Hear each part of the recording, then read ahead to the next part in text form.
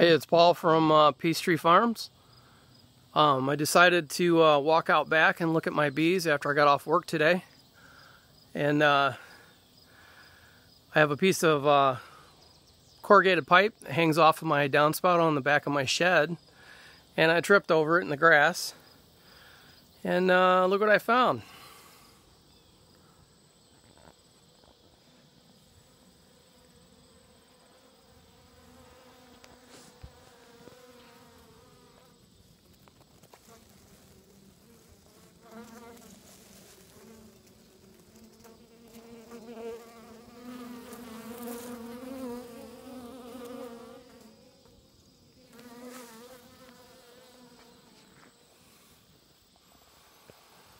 So it looks like the girls are thirsty.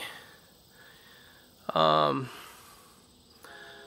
they apparently don't want to drink out of the bird baths or the chicken feeders or any of the other stuff we have around the property for them. Uh, they want to drink out of the downspout off of my shed. Now we did get uh, two inches of rain Friday. Um, it's Monday now. So it's not like it's nasty, mucky water, but still, the bird baths are clean, but apparently they don't want that. So this goes to show you they don't follow the plan.